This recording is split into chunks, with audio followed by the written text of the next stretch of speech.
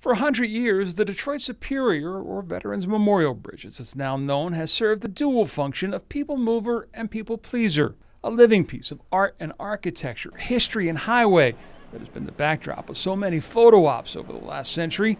The city it framed has changed in that time, but this bridge has remained a constant.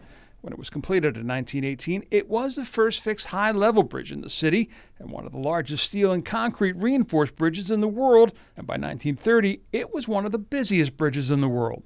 Arguably, one of the most classic features of the bridge is the one that remains hidden in plain sight.